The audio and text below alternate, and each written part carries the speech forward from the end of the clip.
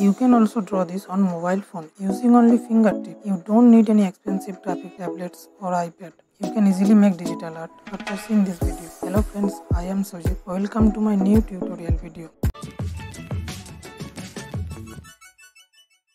In this video, I have shown how to make professional level digital illustration in an Android smartphone using the Infinite Painter app. I hope you will like the video. Don't forget to subscribe if you are new to my channel and click bell icon to get notified.